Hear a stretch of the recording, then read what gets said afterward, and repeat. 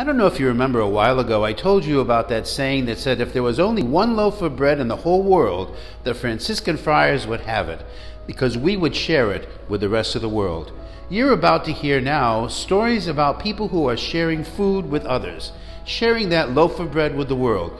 People like Father John Ahern and Marilyn, who are at St. Mary's, our parish in Pompton Lakes. Here they are.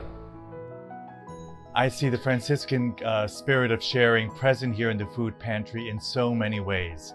On one hand, we have our parishioners. Week after week, they come donating food to our, to our food pantry. They have so much and they want to share that with other people.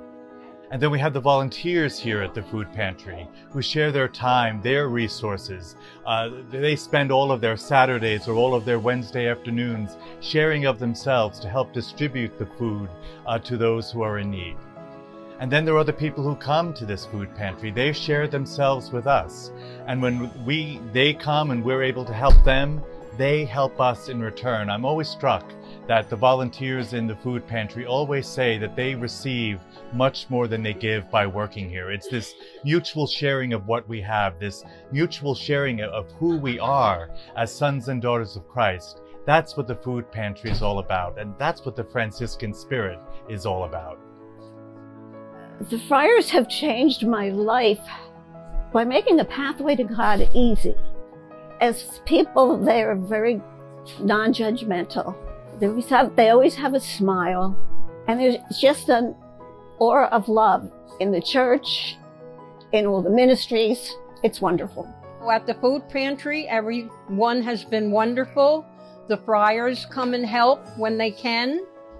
It's wonderful. They've been a big, big help to me and many of the people that I know.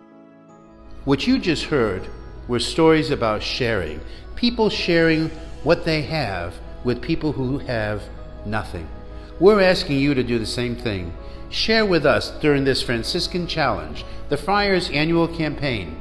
Share with what you have with those who have nothing. Over 2 million people come to us every year. Help us help them. Take the Franciscan Challenge. Be a part of it.